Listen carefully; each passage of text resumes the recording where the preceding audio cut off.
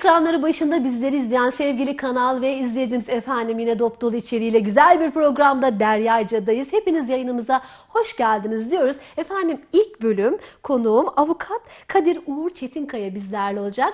Değerli işçi ve işverenleri özellikle ilgilendiren bir konuyla beraberiz. Efendim özellikle son bakalım kanunlarda değişiklikler neler, işçi ve işverenlerin hakları neler bunları konuşacağız. Sizleri ekran başına bekliyoruz.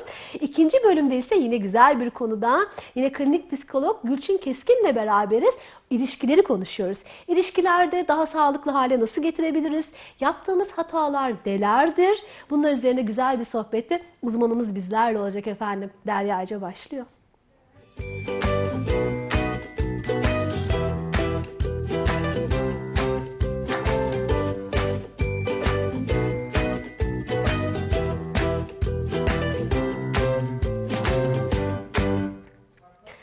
Hoş geldiniz. Hoş bulduk. Ee, Böyle sizleri avukatlardan genelde böyle korkulur değil mi? Ama avukatlarımız, gelen avukatlarımız o kadar güler yüzlü, o kadar sempatikler ki. Şimdi tabii Allah e, ne eksikliklerini göstersin derler ya. Hep hasta Evet. doktorlar için de onu söylerler. Ne adliyelere düşürsün derler. Ama gerçekten e, Allah eksikliklerinizi de bizimle ne de göstermesin. bizsiz. Tabii ne de sizinle ne de sizsiz. E, şimdi tabii esasında e, bizler e, haklarımızı bilirsek e, esasında belki sizlerinle beraber daha güzel şeyler yapabiliriz diyoruz. Bugün de bunun üstüne işçi ve işveren hakları ile ilgili güzel bir program olacak. Nasılsınız? İyiyim, sağ olun. Teşekkür ederiz. Bizler de sizlerle olmaktan mutluyuz. Şimdi o zaman e, birçok sorumuz var tabii size. E, son böyle gelişmeler neler onları da merak ediyoruz. Şimdi çalışanların gerçekten e, kafalarında birçok soru var. Çok da haklarını bilmiyorlar değil mi? Siz bir avukat olarak bilmiyorum bunu değerlendiriyorsunuzdur. Genelde gelen davalarda böyle şaşırdığınız oluyor mu? Elbette hani çok uzun yıllar boyunca hak kaybına uğramış insanların Çok var değil mi? e, sorunlarını dinleyebiliyoruz. Buna nasıl tahammül gösterdiklerine inanın biz de hayretle karşılıyoruz. Ama insanlar ekmek kavgası dediğimiz noktada pek çok şeye göz yumabiliyorlar. E, mümkün mertebe bu noktada elimizden gelen yardımı yapmaya çalışıyoruz. Bugün de biraz bilgilendirelim ki Tabii ki. haklarımızı öğrenelim. E, Buna göre de bir yol izleyelim. Esasında hakları bilmek, hakları savunmak kötü bir şey değil. Doğru bir yol haritası Kesinlikle. çizmek lazım diyoruz. Şimdi en çok bilmiyorum benim kafamda da böyle e, işçilerin de merak ettiği ki Türkiye'de bu çok fazla e, çalışma saatleri. Şimdi biz e, çalışma saatleri hakkında esasında yeterli bilgiye sahip değiliz. Bir işçinin ne kadar çalışma saati vardır normal bir e, işçi programına ne kadar saatte çalışması gerekiyor? Bunlarla ilgili fazla mesailer nedir? İsterseniz böyle başlayalım. Hay hay. Buyurun. Ee, tabii ki de ekstra durumlar hariç olmak üzere normal çalışanlar için haftalık çalışma saati haftalık 45 saattir. İşveren bunu dilediği saatlere bölebilir. Yalnız kanunun belirlediği bazı sınırlar vardır. Günlük 11 saatten fazla çalışma yapılamaz. Gece çalışmaları da 7,5 saati geçmemelidir. Dolayısıyla işveren dilerse bunu haftanın 5 gününe günlük 9 saat olmak üzere ya da haftanın 6 gününe günlük 7,5 saat fiili çalışma olmak üzere bölebilir. Ee, bunun haricinde genel itibariyle zaten bizim de karşılaştığımız durumlar haftanın 6 günü günlük 7,5 saat esastır. Evet. Ee, bir de bunun üstüne tabii ki de ara dinlenme süreleri eklenir. Dolayısıyla günlük 9 saat iş yerinde geçirmiş olmanız günlük 9 saat çalıştığınız anlamına gelmez. Bunun 1,5 saati ara dinlenme olduğu zaman fiili çalışma olarak 7,5 saat ve haftanın 6 günden 45 saat esasına dayalı bir çalışma sistemi olur.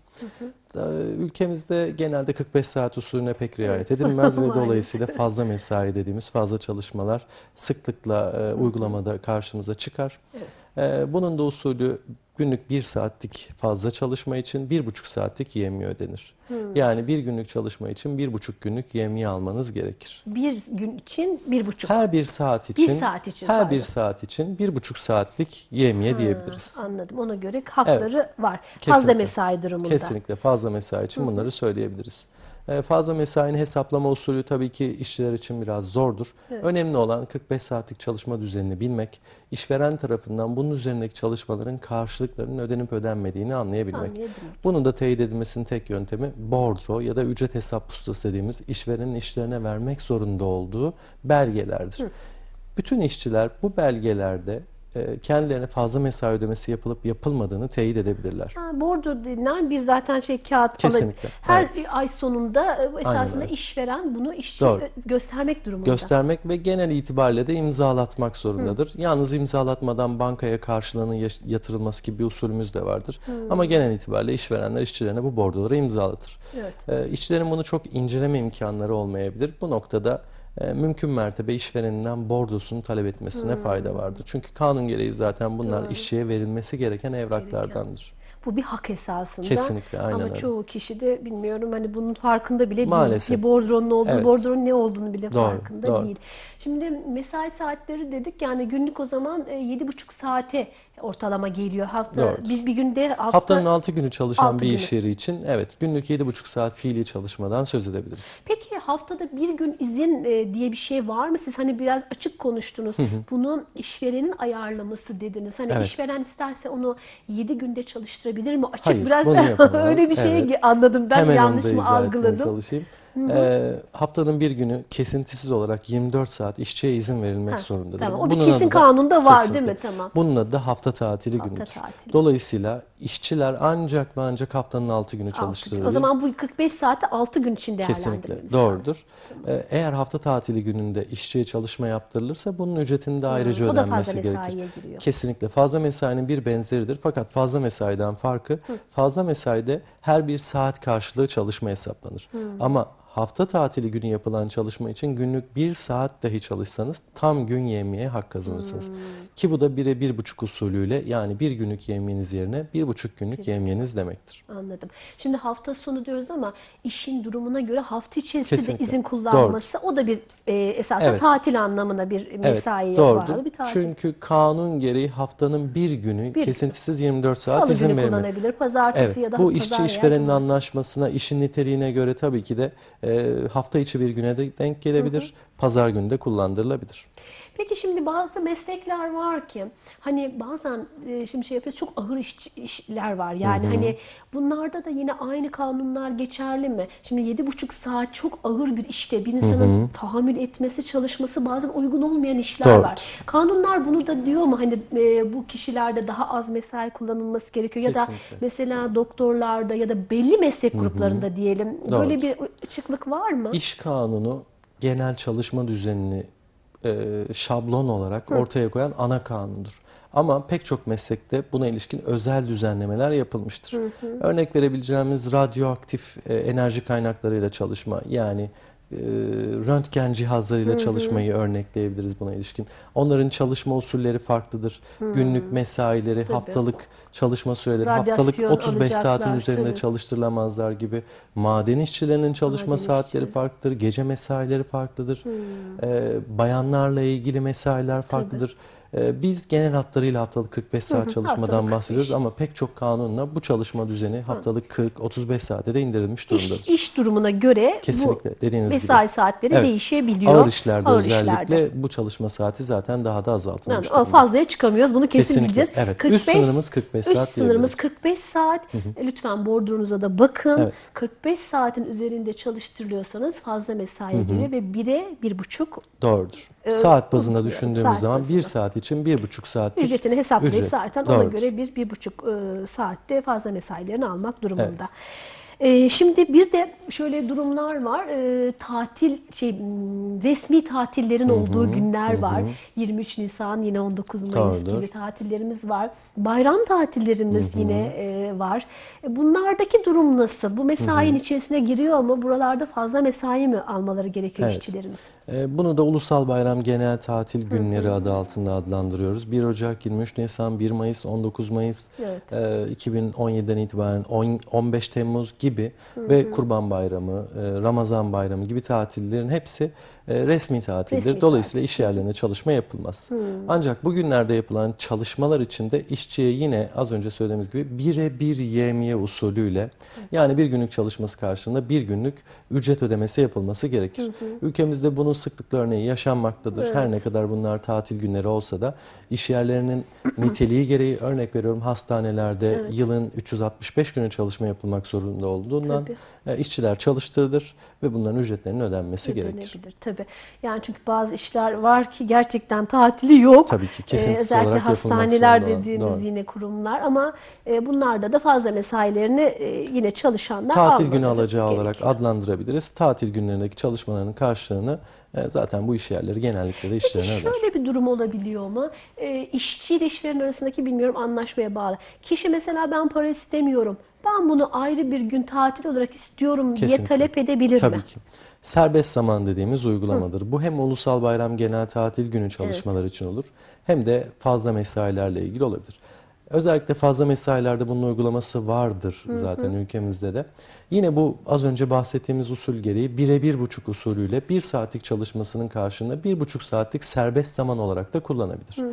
Dolayısıyla aylık çizelgelerde işçinin fazla mesaisi belirlenir ve bir sonraki ay veya daha sonraki önündeki aylarda serbest zaman olarak işçiye kullandırılabilir. Ama bunun için temel zorunluluk işçinin daha öncesinde buna onay vermiş olması. Hmm, Yani bir onayının İşveren bunu olması kesinlikle, lazım. işveren yani bunu keyfi olarak Ha, yapamaz. İşveren bunu ben sana para ödemeyeceğim. Evet. Sen bunu tatil olarak kullanacaksın Doğru. diye de taahhüt edemez Doğru. iş- işçiye. Çünkü kanun gereği bunun karşılığı normalde Paradır. para olarak ödenmedir. Ama tercihine bağlı olarak işçinin böyle bir talebi varsa tabii ki işveren bunu serbest zaman olarak da kullandırabilir. Şimdi esasında biz burada tek işçi üzerine konuşmuyoruz. Sonuçta işveren de çok hakları var. Gerçekten işveren olmak da çok zor. Şimdi Doğru. İşverenler de bizi izliyorlar. Ee, hani işin boyutu çok farklı. Suistimaller de var. Mesela böyle bir durumda kişi ileride e, size dava da açabilir. Benim paramı vermedi diye dava da açabilir. Doğru. O yüzden hani mutlaka imzalı ben bugünümü tatil olarak kullanıyorum diye imza alması gerekli değil mi? Kesinlikle. Yani iş hukukunun temel prensibi gereği zaten e, hemen hemen bütün alanlarda ispat yükü İspat. işverenin üzerindedir. Ve bunlar genel itibariyle de yazılı belgeyle ispat edilmesi gereken Hmm. alacak kalemleridir.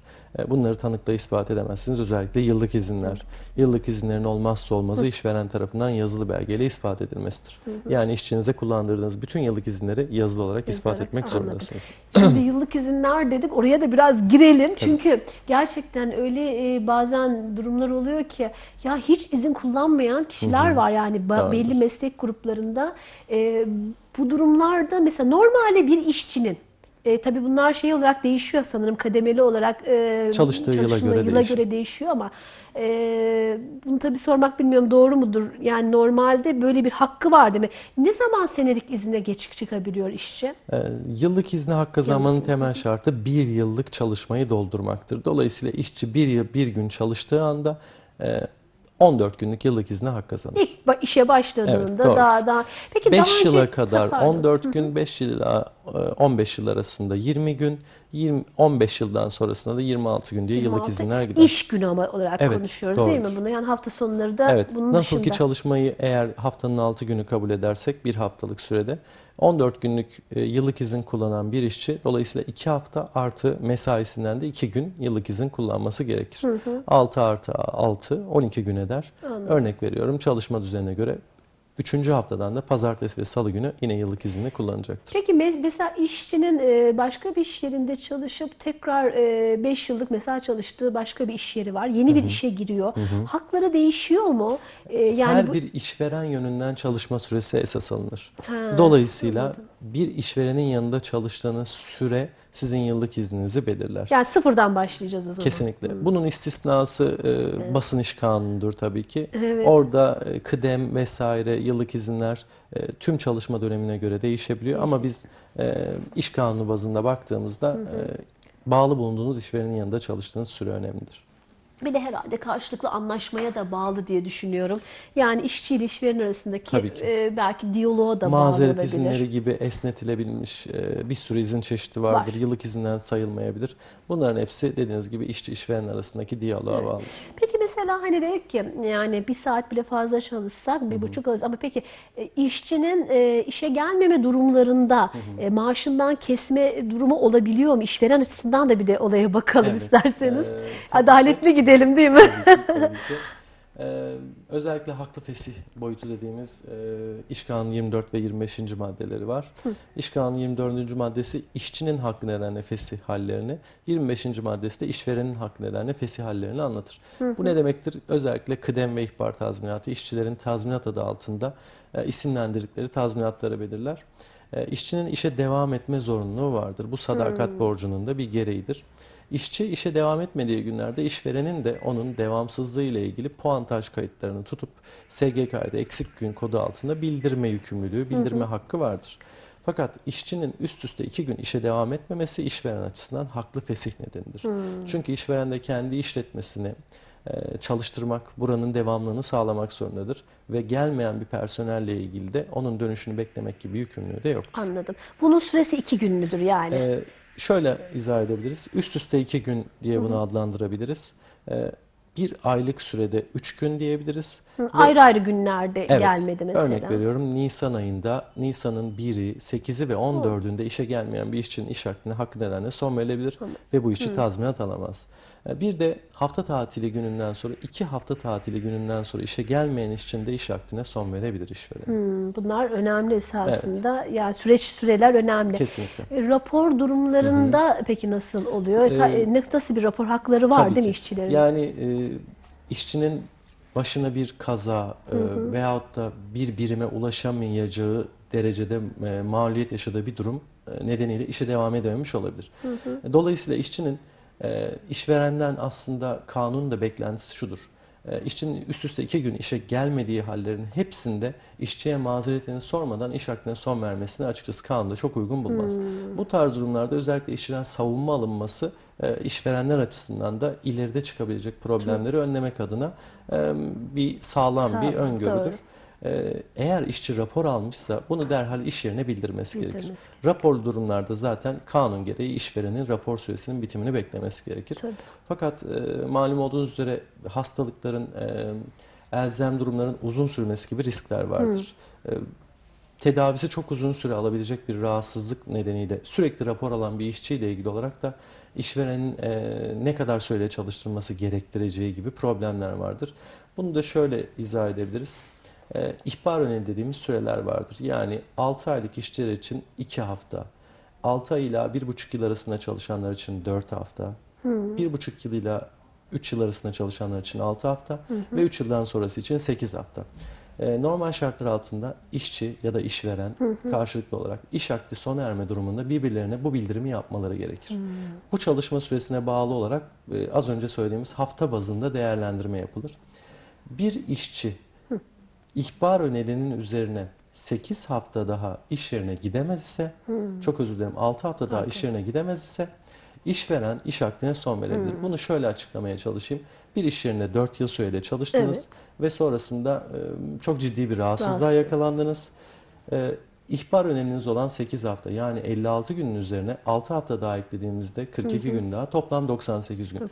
98 gün süreyle rapor aldığınız zaman işveren sizi işten çıkartabilir. Çıkarabilir. Evet. Hmm, Bunlar da esasında tabii her iki taraf için de geçerli. Çünkü Tabii. işveren için de tabii iş e, durumları da çok önemli. Doğru. E, sonuçta işte aksıyor. Aynen Yerine bir eleman da alamıyor değil Evet. mi o durumlarda? Çünkü o işçinin dönme ihtimali ne zaman dönecek bunların hiçbiri belli olmadığı Belli için. olmadığı için. Ama aralıksız olarak 98 gün üzerinde rapor alındığı anda e, işveren işçisiyle artık e, iş hakkını devam etmek ettirmek zorunda değil. Fakat şöyle bir ayrımı da hemen söyleyelim. Bu halde işçiyi çıkartabilmesi için işverenin tabii ki de işçiye kıdem tazminatını ödemesi gerekir. Ödemesi lazım değil mi? Evet. Kıdem tazminatı. Evet. Şimdi biraz sonra gireceğiz. Kıdem tazminatı da gerçekten en çok sorulan konulardan Doğru. bir tanesidir. Ee, şimdi e, tabii suistimaller mutlaka yani bu karşılıklı esasında olan bir şey. Tabii. Ee, belki dürüstlük ben ben her zaman dürüstlükten yanayım da ama maalesef işte belli durumlarda o dürüstlüğümüzü kaybediyoruz. O suistimaller olunca zaten sıkıntılar oluyor. Doğru. Zaten arabuluculuk da buradan giriyor değil Doğru, mi? doğru. Şimdi e, aynı zamanda e, Uğur Bey e, arabulucu avukatlarımızdan e, ki o sistemde bir, daha önce bir programımızı gene yaptık arabuluculuk sistemiyle ilgili. E, onunla ilgili de biraz girelim istiyorum isterseniz. Konudan sonra mı girelim yoksa şu anda bir Hiç önemli değil. girelim. Aslında yeridir. Tam yeridir. Girelim bence çünkü Bilgileri şimdi tekrar, dedik ya e, suistimaller paylaşalım. dedik çünkü Evet. işten çıkarılma durumları dedik. Şimdi artık 2018'den itibaren yeni bir sistem geldi. Belki daha önce bizi izlemeyenler için tekrar bir arabuluculuk sistemini isterseniz şöyle tekrarlayalım. Hangi durumlar arabuluculuk sistemine giriyor? Artık 2018'den sonra ferdi olarak biz e, işçi işverene ya da bir dava açabiliyoruz mu? İşveren de bize dava dava açabiliyor mu? Bu konuda ne tür geliş değişiklikler oldu? Buyurun lütfen. Sizin de söylediğiniz gibi 1 Ocak 2018'den itibaren özellikle iş hukuku ile ilgili zorunlu arabuluculuk yürürlüğe girdi. Ee, Dolayısıyla şu an itibariyle arabuluculuğa başvuru zorunluluğu olmaksızın dava açılamaz. Evet. Açılan davalarda da mahkemenin ilk yaptığı iş e, arabuluculukla ilgili herhangi bir başvuru yapılmış mı? Taraflara bunu sormak. Eğer buna ilişkin bir haftalık süre içerisinde başvuru yapıldığına dair bir evrak getirilemezse davayı reddetmek. Evet. E, Arabuluculuğun faydaları e, daha önce bu programda da konuşulduğu gibi e, uzlaşı kültürüne dayalı bir e, prosedür. E, Tarafların ortak iradeleriyle kendi verecekleri kararla kendi aralarındaki ihtilafı sona erdirmelerini amaçlayan bir e, süreç. E, Bildiğiniz üzere olay yargıya intikal ettiği zaman hakimin vereceği kararı her iki tarafta uymak zorundadır. Ama arabuluculukta süreci karşılıklı olarak idare ettikleri için taraflar kendi ortak iradeleriyle aldıkları karar her ikisi için de bağlayıcı olacaktır. Doğru. Evet. Buyurun. Heh, yani şimdi e, gerçi çok güzel bir sistem oldu. Şimdi dedik ya insanlar birbirlerine kızıyoruz. Bazen işçi de işverene kızıyor, işveren de işçiye kızıyor. Hani böyle bir sistemin gelmesine ben çok mutlu oldum. Evet, masadan tokalaşarak ayrılmak e, Aynen. inanılmaz bir duygu. Çünkü sinirler biraz daha yatışıyor. Evet, evet. Esasında yine biraz sonra bir psikologumuzu alacağız. Konuk ikinci bir bölümde psikologumuz gelecek ama avukatların bu yönü de çok fazla. Gerçekten terapi eğitimleri de almanız, gerçi alıyorsunuz bilmiyorum eğitimler ya da Yani kendimizi geliştirmeye çalışıyoruz. Geliştirmeye noktada. Çünkü çalışıyorsunuz, hakikaten, değil mi? Uzun süren yargılama süreçlerinde müvekkillerin de evet psikolojik olarak yıpranmaları var. Tabii. Zaman zaman biz de onları psikologlara, psikiyatrlara yönlendiriyoruz. gönderiyorsunuz. Evet. Ya biraz böyle programda bağlantılı oldu ama gerçekten zor bir süreç. O süreçte insanlar yıpranıyorlar. Ama böyle bir sistemle artık arabulucu avukatlarımızın sayesinde artık birbirleriyle muhatap da olmuyorlar. Ee, ve dediğiniz gibi nasıl gidiyor davalar? Sistem biraz oturdu mu? Şimdi 2018'de başladı. Esasında çok uzun bir süreç değil. Nisan'ı Nisan'a girdik. Yani 4 ay gibi, değil mi? 3,5 ay gibi bir süreç oldu. Evet. Alıştı mı insanlar biraz Ee, arabuluculuk sistemine? İnsanlar kesinlikle arabuluculuğa alıştı. E, Hatta Arabuluculuk Daire Başkanlığı'nın buna ilişkin yayınladığı istatistiki veriler var. E, Geçen yılın aynı dönemlerine bakıldığı zaman inanılmaz derecede dava sayısında düşüş gözleniyor. E, Dolayısıyla yani kısa bir süre sonrasında bu arabuluculuğun, zorunlu arabuluculuğun başka e, dava türlerine de sirayet etmesini bekliyoruz. Ay inşallah. Ticaret mahkemeleri olabilir, tüketici mahkemeleri olabilir. Bunlarda da Şu e, ev sahibiyle sonrasında- kiracı arasındaki davalar özellikle geliyor. Evet, evet, evet. evet. Çok büyük. Ee, Bunlarda da inşallah bir çözüm Ya da noktası karı koca olacaktır. arasındaki Ee, davalar, boşanma bile, boşanma davaları, davaları. boşanma davaları e, kamu düzenine ilişkin olduğu için Hmm. şu aşamada e, arabuluculuk için zorunlu unsuru ve arabuluculuğa uygunluğu hususunda e, Biraz biraz, şey- erken. E, önümüzdeki yıllarda belki onunla ilgili İnşallah adımlar bir, atılabilir. bir, bir süre sonra şey yaparız. Onları da konuşuruz. Davalarda bile düşüş oldu Kesinlikle, dediniz. O evet. da çok sevindirici bir şey. Esasında hızlandırılıyor. Çünkü çok uzun süren davalar Doğru, var. doğru. Benim bile etrafımda gördüğüm davalar var. Gerçekten yıllarca sürüyor ve hem işçi yıpranıyor hem işveren yıpranıyor. Ee, Bir de işe iadeyi konuşacağız biraz sonra. O süreçte insanlar tabii maddi sıkıntılar da çekiyorlar. Ne kadar bir süreçte arabuluculuk sistemi esasında geçerli oluyor onu da tekrarlayalım. Zorunlu Zorunlu sürecinde sürecinde. arabuluculuğun e, 21 günlük 21 bir gün. süresi var. E, e, ihtiyaç dahilinde bir hafta daha uzatılabilir. Dolayısıyla 4 hafta yani 28 gün e, sonunda arabuluculuk faaliyetinde bir neticeye ulaşılması gerekir. Anladım. E, Bu sürede toplantı ile ilgili bir sınırlama yok. Dilediğiniz kadar toplantı yapabilirsiniz. Taraflarla birebir veyahut da ortak görüşmeler yapabilirsiniz. E, önemli olan burada bir neticeye ulaşabilmek. Anladım. Bu neticenin de olumlu olması e, tüm taraflar için de iyi olacaktır. Evet inşallah güzel sonuçlar olur. Ee, güzel e, davalara da gerek olmadan böyle İnşallah. arabuluculuklar sayesinde de işçi ve işveren arasındaki sorunlar da hallolur. Esasında bu haklarını da öğrenmiş oluyor hem işçi ve hem işveren burada. Doğru. Ee, güzel bir sistem oldu. Şimdi e, ikinci bölümde tekrar devam edeceğiz. Bir reklama gideceğiz. Sizi biraz dinlendirelim hem. Ee, yine bizi izlemeye devam edin diyoruz ki ikinci bölümde kıdem tazminatını konuşacağız. Yine bakalım işe iade davalarını konuşacağız. Ee, biz buradayız efendim. Reklamlar.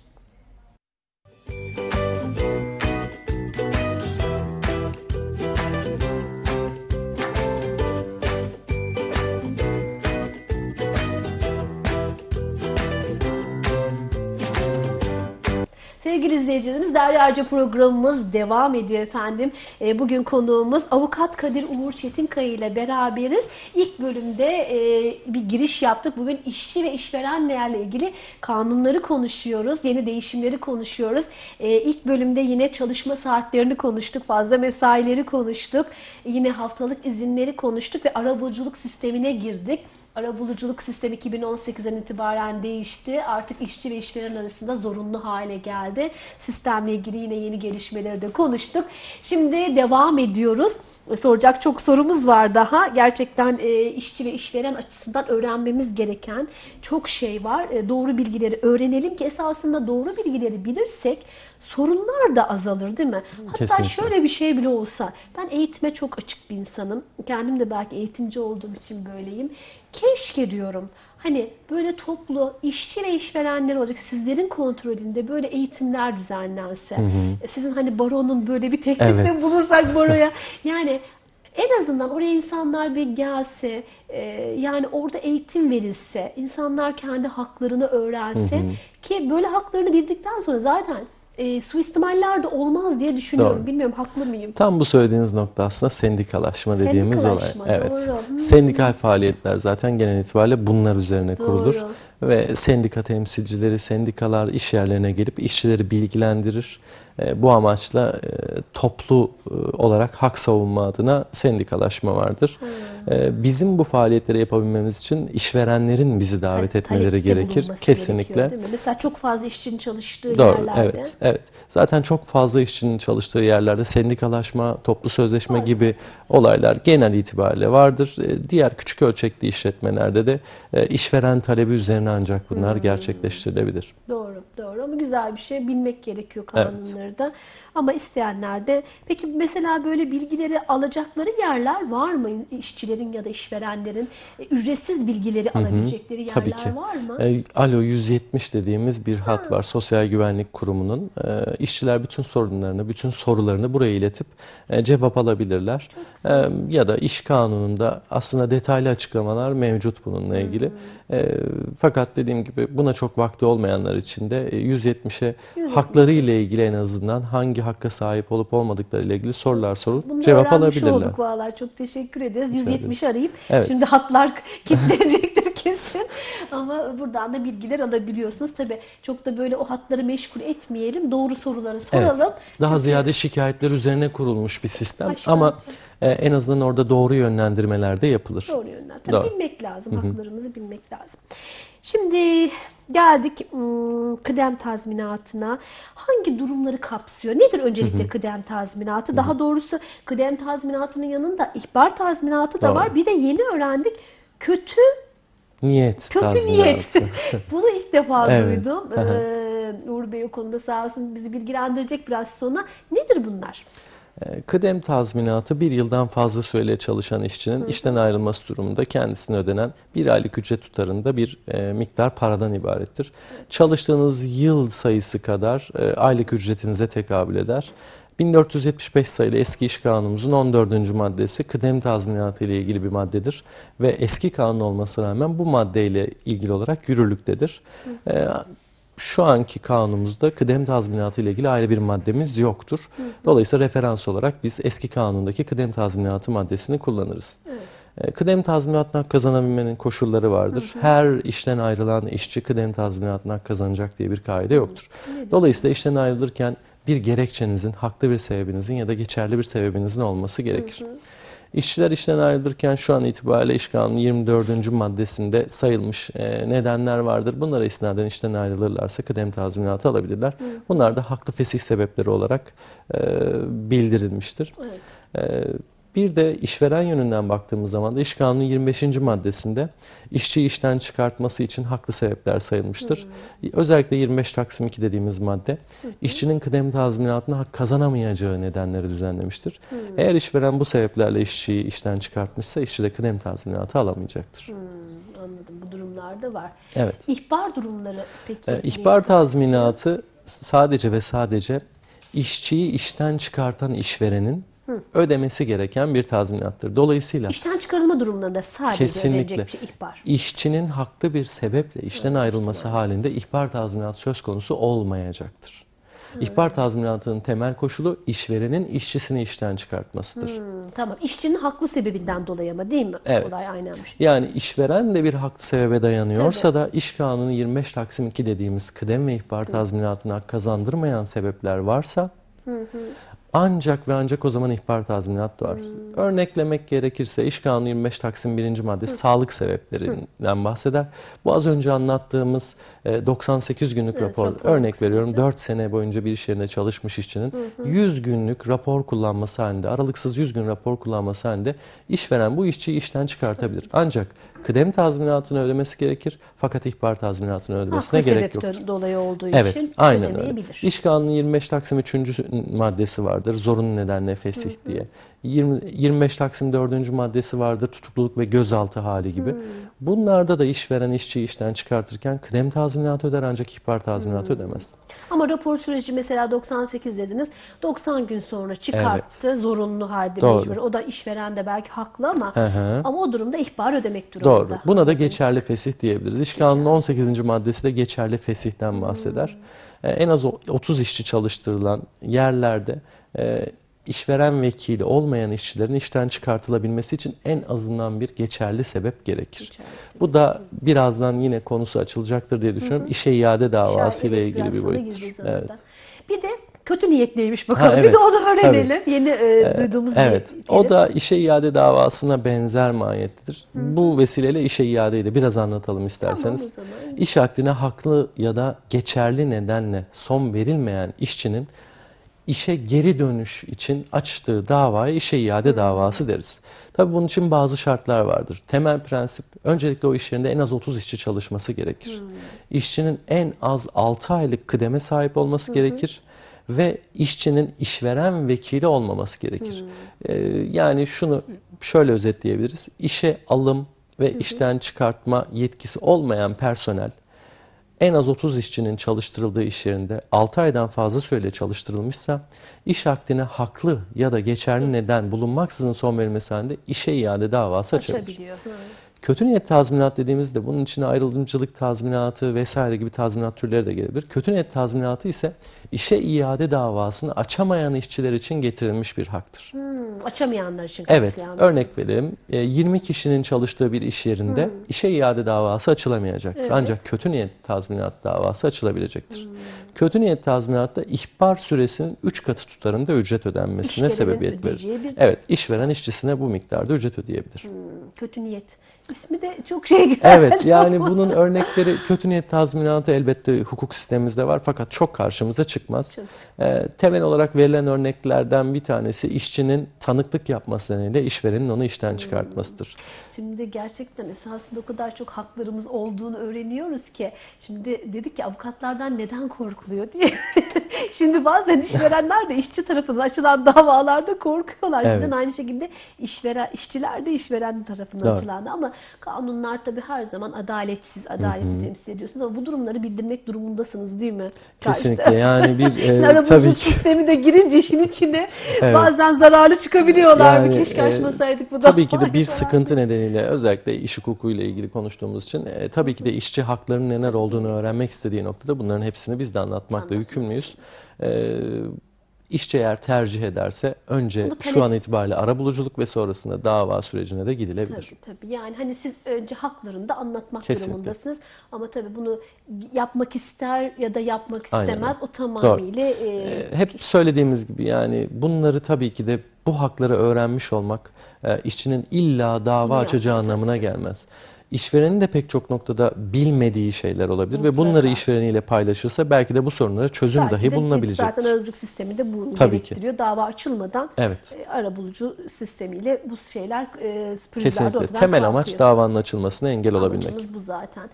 Şimdi e, işten çıkar, gerçi biz şimdi kıdem tazminatına biraz erken girdik ama şimdi bir de işten çıkarılma durumlarını kapsayan şeyler var. Özellikle Mesela hamileler e, ki çok fazla gerçekten kadınlar üzerinde bazen çok büyük sıkıntı oluyor. E, yani sizinle biraz paylaştık böyle biz şeyde biz bile yaşadık bunu yıllar yıllar önce. Ah ah diyorum keşke o zaman haklarımı bilseymişim. E, hamile olarak yaşladığım bir işte sigortam yapılmadı. Ha, evet. Şimdi şikayet ediyorum.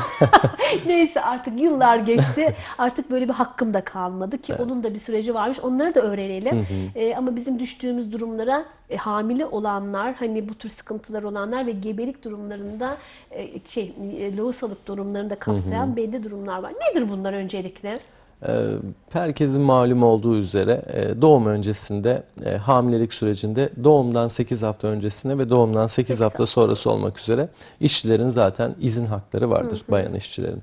Fakat bu süre doktorun uygun görmesi halinde doğumdan önceki 3 haftaya kadar düşülüp doğumdan sonraki 8 haftalık süreye 5 hafta daha eklenmek suretiyle yine 16 hafta olarak kullanılabilecektir. Bu normal hakkımız. Hakkı Kesinlikle evet.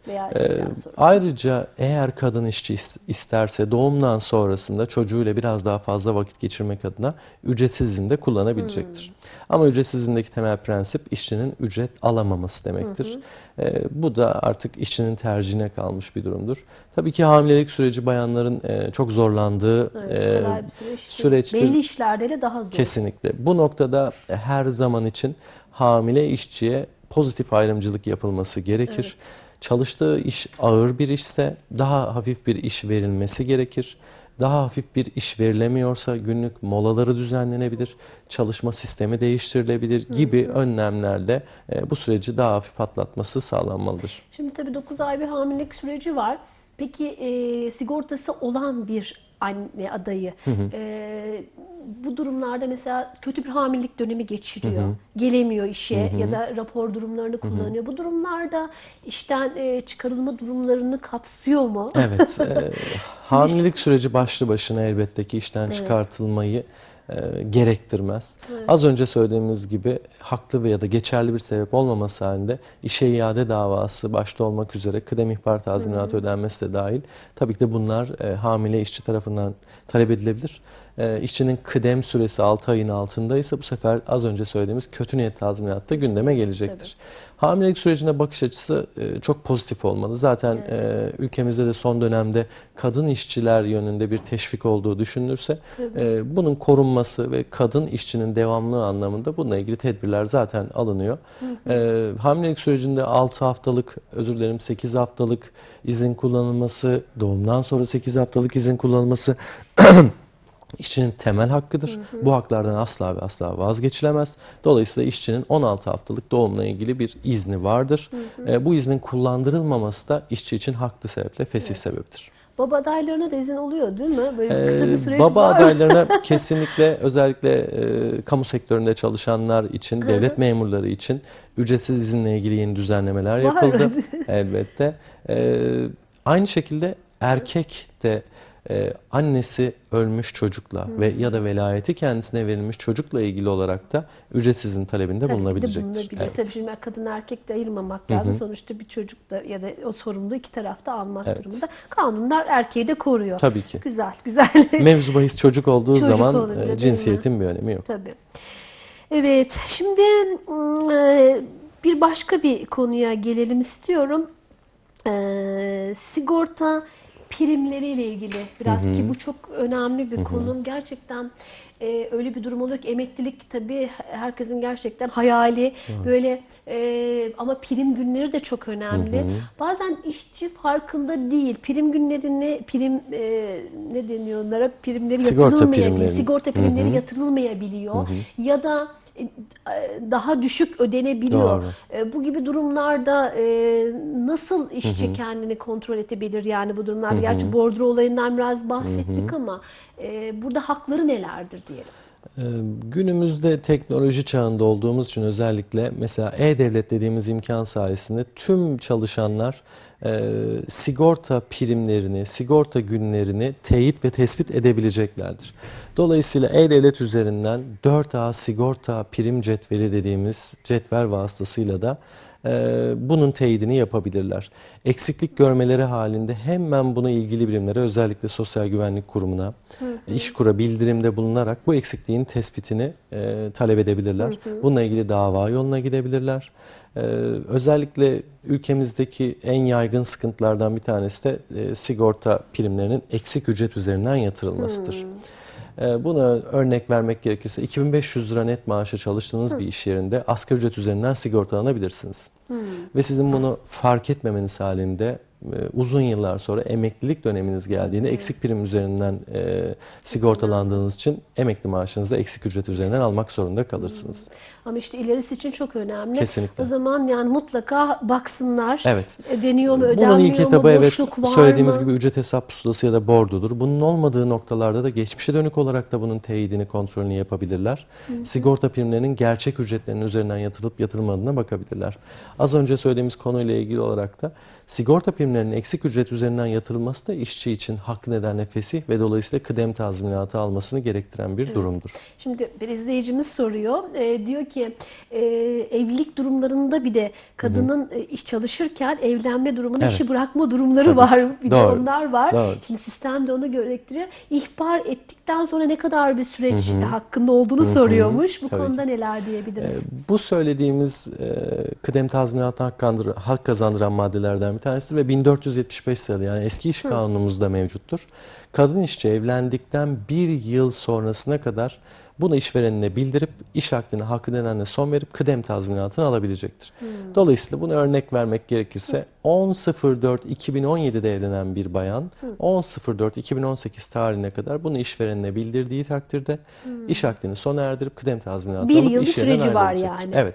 Bunun için daha öncesinde e, haber vermeniz gibi bir zorunluluk yok. İhbar sürelerine uymak gibi bir zorunluluk yok. E, bildirdiğiniz andan itibaren iş akdinize son verebilirsiniz ve iş yerine devam etme zorunluluğunuz da yoktur. Aa, çok güzel. Bakın izleyicimiz herhalde aydınlanmıştır. Yani işten ayrılabilir. Tabii Evet. süreci ne kadar onu bilmiyoruz tabii onu da sormak lazım. Bir yılı geçirmemek Evet, lazım. tabii ki temel prensip Şimdi nedir? iki yıl sonra ben ayrılıyorum. Evet, tabii. kıdem tazminatına hak kazandıran e, nedenlerin olması lazım. Yani Hmm. fiili olarak bir yıl çalışma süresi. Üç yıl bir iş yerinde çalıştınız, evlendiniz. Bir yıllık süre içerisinde işverene bunu bildirip işten ayrılıp tazminatınızı Ya evlilik alabilirsiniz. durumları Tabii da ki, olabiliyor tabii ama ki. bunları da tabii suistimal etmemek lazım. Elbette. E, çünkü şey için de çok, işçi için de çok, Tabii işveren ki. için de çok Hı hı. önemli. O süreçte yerine birini de bulması lazım. Evet. E, ayrıl peki şey durumlarında nasıl? E, işten ayrılma durumlarında ne kadar süreçte karşı tarafa bildirmek lazım? Onun bir süresi var mı? Tabii ki.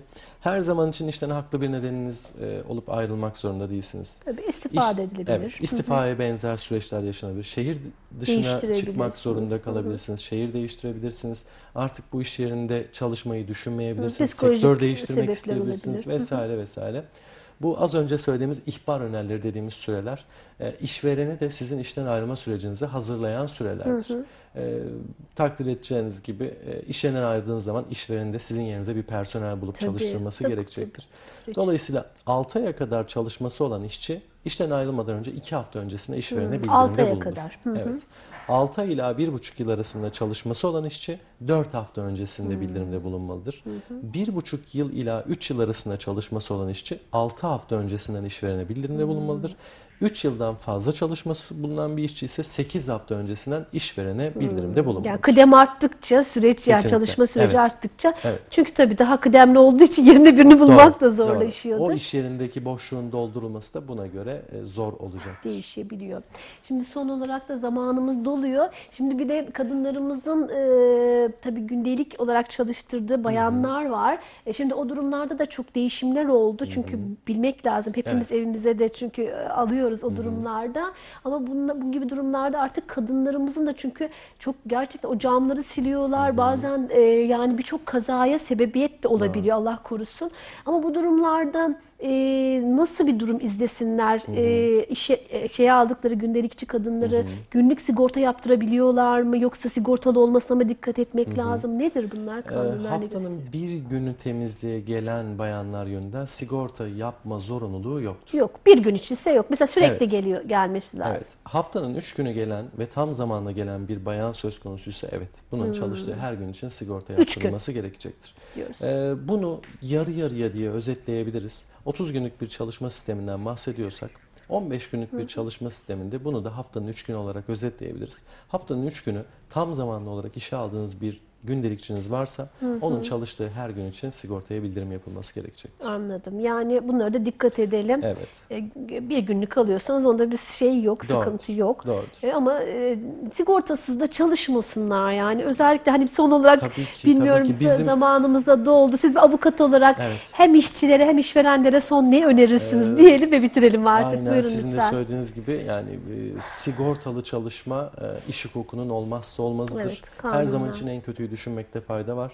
E, Sağlık. Kesinlikle. En Evet. önemli desteklerden bir tanesi de bu noktada sağlık ve sosyal güvencedir. E, bu nedenle sigortasız e, işçiler çalışmasın ve işverenler de mümkünse sigortasız işçi çalıştırmasın. Peki şikayet edilebilir mi? Tabii ki. Sigortasız çalışma Tabii ki. durumunda Az işçi önce söylediğimiz 170'e e, bununla ilgili hemen şikayet yapılabilir. Mesela- bir müfettiş görevlendirmesi yapılıp işverene bunun tespiti yapılırsa Anladım. işveren için çok ciddi cezalar olur. Çok ciddi. Yani dikkat edelim bu gibi durumlarda. Hem çünkü kanunlar sonuçta sizi koruyor ama kanunların koruması için de sizin sigortalı olmanız gerekiyor. O yüzden haklarımıza sahip çıkalım. Çok teşekkür ediyoruz Ben Uğur Bey bu ederim. değerli Çok bilgileriniz olun. için. Çok aydınlatıcı, güzel bilgiler verdiniz. Hap bilgiler verdiniz. İnşallah e, bu tür davalar daha az olur. İnşallah. Ara, arabuluculuk sistemi de geldi ama e, inşallah güzel şeyler konuşuruz burada sizlerle diyoruz. Çok teşekkür ediyoruz efendim. Evet sevgili izleyenlerimiz Derya Hoca programımız devam ediyor. Şimdi bir reklama gidiyoruz. Reklamlardan sonra psikologumuzla yine programımız devam edecek. Biz izlemeye devam edin efendim reklamlar.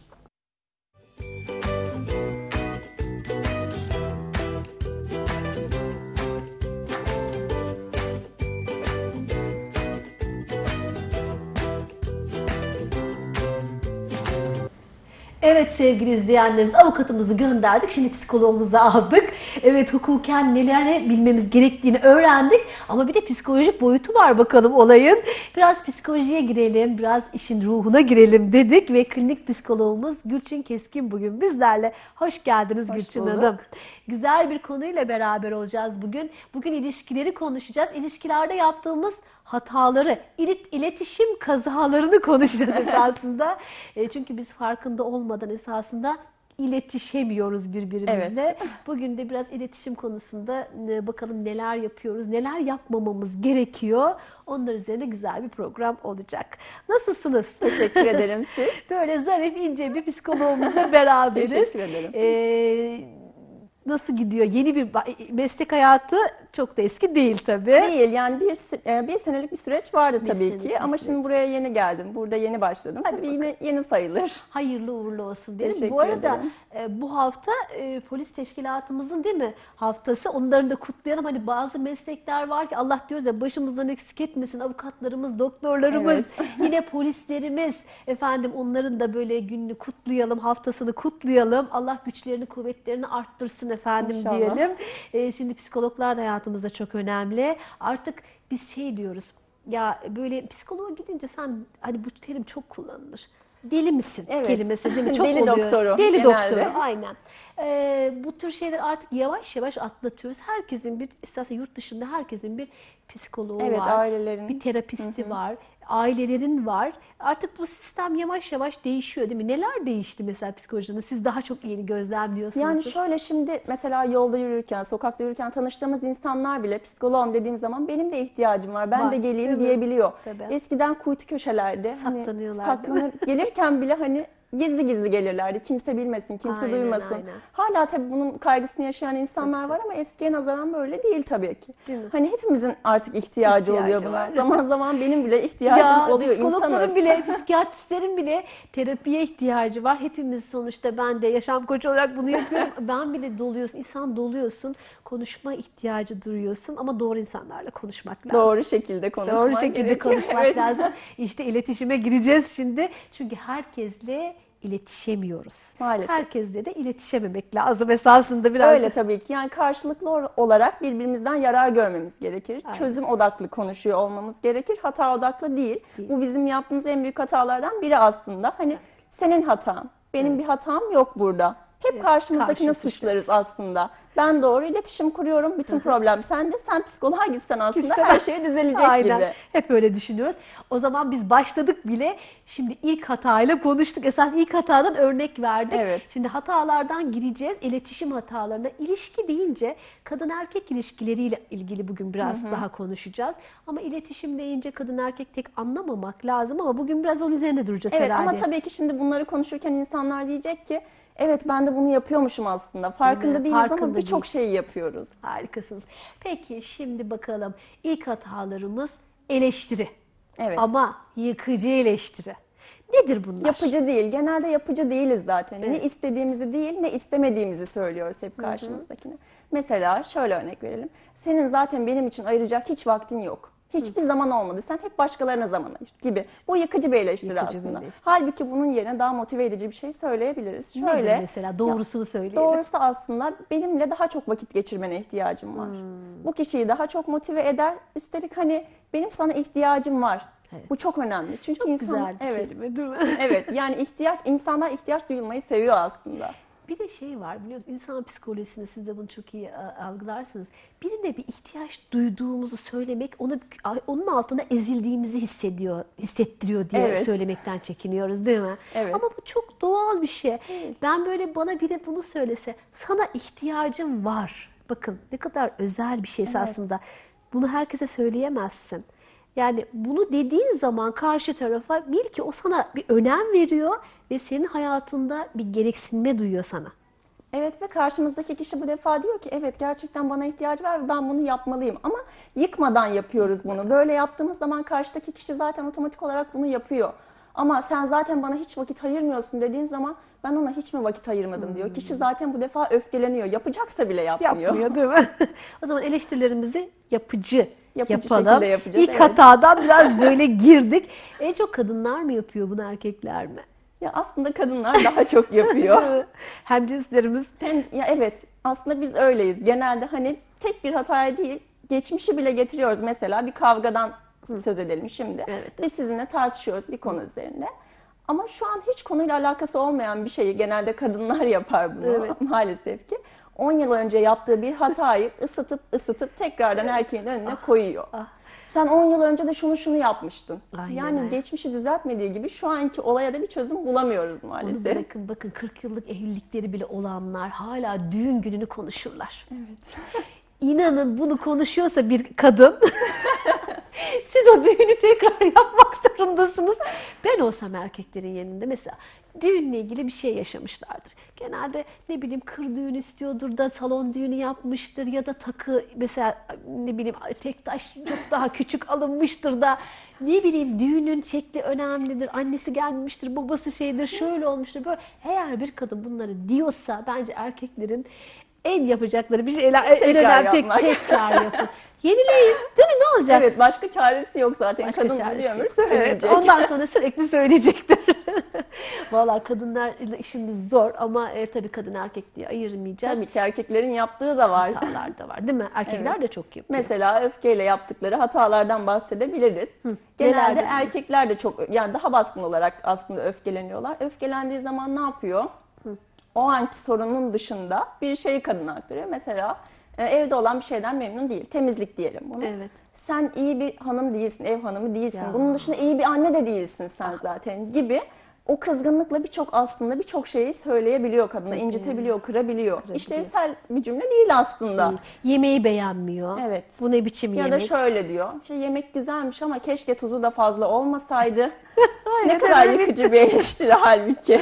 Annem daha güzel yapıyor senden. Eyvah Evet, eyvah. o kıyas. zaman- Bu çok yanlış aslında. kötü değil mi? Yani iyisi de kötüsü de olmamalı aslında. Çünkü aktarım yapıyor kişi. Yani annem gibi güzel yemek yapmış. Bu defa karşısındaki kişi hani annem gibi oluyor. Yani o rolden çıkıyor kadın aslında. Hmm, tabii. Anne rolüne girmiş Anne rolü. oluyor.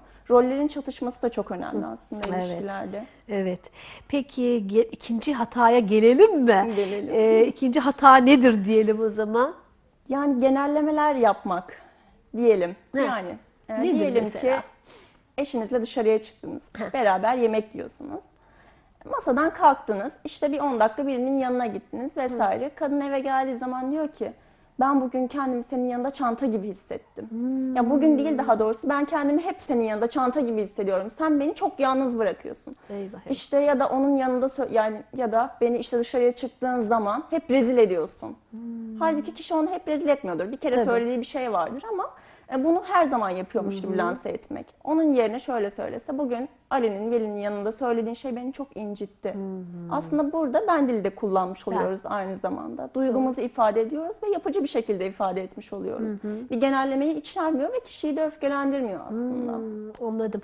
Yani e, genelleme yapmadan kişiselleştirelim mi Ve ilişkiyi? sadece o anki durumu aktarmak. O anki durumu. Yani kalkıp 10 yıl önce de şunu yapmıştın vesaire ya da hep bunu yapıyorsun gibi yıkıcı eleştiriler karşıdakini motive etmediği gibi bu durumu da düzeltmiyor. Evet, ya bunu gerçekten çok yapıyoruz. Hayatı genelliyoruz. Esasında hayat anda mutluluklar değil mi? Evet. Andaki mutsuzluğumuz hep mutsuzmuşuz gibi hissettiriyoruz. Esasında e, o an mutsuzuzdur. Genelde mutlu değil, mutluyuzdur Evet. ama o anı işkence gibi. Genelliyoruz. Sanki 100 yıldır bu durum böyleymiş gibi davranıyoruz aslında. Peki o zaman e, kelimeler çok önemli değil mi? Konuştuğumuz Çok önemli. ben diliyle ben diliyle konuşalım? konuşacağız. Çünkü sen dili daima karşıdaki kişiyi suçlar. Ha. Ve suçladığı zaman karşıdaki kişi ben hep böyle değilim aslında. Hani sen böyle düşünüyorsun gibi.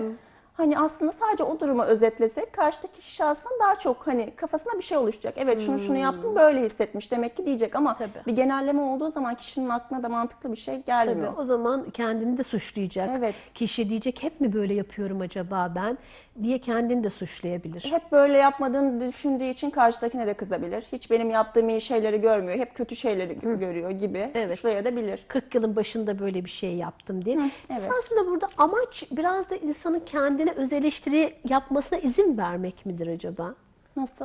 Yani ilişkide mesela sizin karşı tarafa esasında bu mesajı veriyorsun ya ben bu durumdan çok rahatsız oldum. Evet. Dediğimiz zaman esasında karşı tarafa kendini birazcık eleştirmesi için zaman veriyorsun. Evet yani ama mi? işte bunu doğru şekilde yapamadığımız için kişi kendini eleştiremiyor zaten. Ha, değil mi? Kelimeleri doğru seçemediğimiz için kişi o noktayı yakalayamıyor. Çünkü o zaten onu yaptığını farkında değil. Değil mi? Esasında empatiye gi- girebiliriz belki birazcık Evet. değil mi? Bilmiyorum.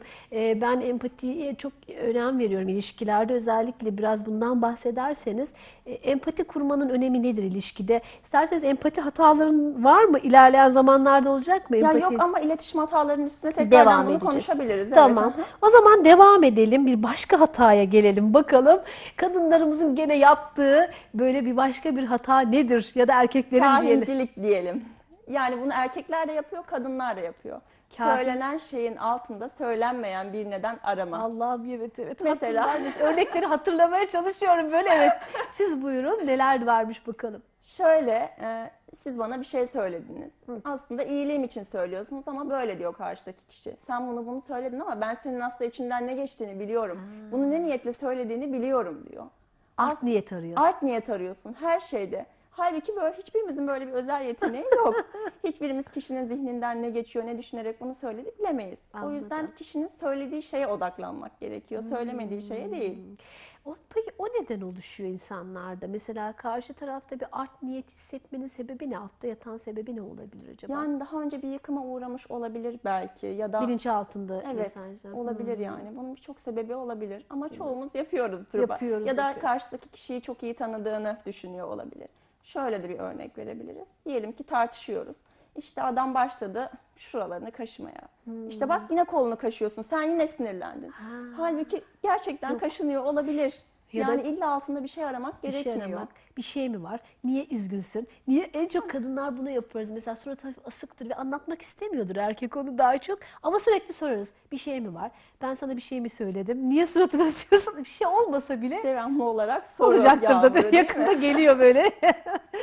Değil mi? Çok bunlar da çok gerçekten şöyle baktığımız zaman esasında biraz daha kendimizi gözlemleme fırsatı bulacağız bugün. Evet. İlişkide şöyle bir Aa evet ya ben bunu da yapıyordum. Dediğimizi duyuyorum böyle Eminim izleyicilerimizden. herkes diyordur. Ben de yapıyorum diyordur. Çoğu zaman sabrımız taşıyor aslında. Bazen de hani o sinirli öfkeyle ne yaptık ne ettik bilmiyoruz. Çünkü ya ilişkiler bazen de bizi yıpratabiliyor gerçekten. Her zaman da böyle sakin kalmak, iletişebilmek çok da mümkün olmuyor. Tabii Ama kolay değil. önemli olan bunları farkına varmak, Farkına sorumluluğunu üstlenmek ve düzeltmek için çaba göstermek. Evet. Hatalarımızı görürsek zaten doğruları daha çabuk kabul Tabii ederiz. ki ama çoğu zaman sorumluluğu üstümüze almıyoruz. At almıyoruz. Evet hadi bakalım devam edelim. Ee, böyle ben bunları şey diyorum trafik kazaları gibi böyle ufak ufak kazalar Evet, diyelim. Ama iletişim sonra bir dev oluyor ve Evet, çözülmez hale geliyor. Aynen aynen. E, Bir diğer şey nedir mesela en çok yaptığımız hatalar biraz daha farkında olmamız gereken. Yalan söylemek. Yalan Allah. Yalan evet. Yarınki konumuz da bu. Yarın da beden dili uzmanımız gelecek. Yarın da bakalım beden diliyle nasıl karşıdaki insanın yalan söyleyip söylemediğini öğreneceksiniz. Ama bugün göreceğiz. psikologumuz bakalım neler söyleyecek. Evet. Yalan söylemek bir kere karşıdaki kişinin güvenini sarsıyor zaten. Yani bir kere söylese bile ikincisinde kişi diyor ki acaba bu kez de yalan söylüyor mu? Söylediği şeyi kale alamayabiliyor. Güvenemeyebiliyor. Güvenemediği zaman zaten söylediği şeye inanmadığı zaman sağlıklı bir iletişim olmuyor. Nereden bileceğim ben senin doğru söylediğini? Bir şüphe çıkıyor ortaya. Şüpheyle birlikte işte sorup sorgulama, telefonla kontrol etme, sürekli arama vesaire. Hani e, kişiyi aslında bireysel olarak çok sıkıştırıyor. Bir kere yalan çok fazla şeye maruz olabiliyor aslında. Evet değil mi? Güven sarsılıyor burada herhalde. Güven sarsıldıktan sonra toparlamak biraz daha zor oluyor tabii en ki. çok kadınlar mı söylüyor yalan erkekler mi? Yani bu biraz kişilik meselesi. Şimdi kadın erkek diye ayırmamak Değil gerekir mi? ama bazen kendimizi kurtarmak adına ya da karşımızdaki kişiyi kırmamak adına yalan söylüyoruz.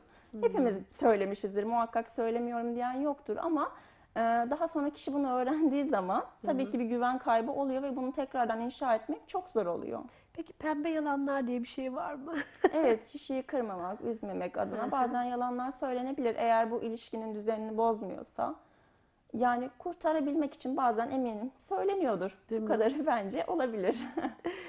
Ben de şeydi bir tane aforizmada öyle yazmıştım kitabımda. Ee, tam şöyle hatırlamaya çalışıyorum. Bazen e, sevineceğin gerçekler, e, pardon sevineceğin yalanlar üzüleceğin gerçeklerden daha iyidir diye Evet. yazmıştır. Bazen yalanlar da güzel hayatımızda küçük pembe yalanlar evet, olsun çok küçük tabii ki. Ya, ya zaten yüzde yüz dürüst olabilen insan yoktur. değil mi? Bazen karşımızdakini incitmemek, kırmamak, Kırmamak için adı mutlaka altında. söylüyoruz. Ama ona zarar vermeden. Evet, önemli olan işte amaç, Amaç. niyet. Yani karşımızdaki kişiyi üzmemek, kendimizi kurtarmak adına değil de karşımızdaki kişiyi incitmek, üzmemek adına böyle şeyler olabiliyor. Herkes bu kadarını tolere edebilir diye düşünüyorum. O da küçük küçük yalanlar ama onda kişiler bazen de inan, inanır gibi de görünebiliyor değil mi bazı yalanlara ilişkide. Yani onun yalan söylediğini farkında ama o kişi de üzülmesin diye düzeni bozmamak adına bazen de evet inanıyormuş gibi inanıyormuş yapabiliyoruz. gibi olabiliyor.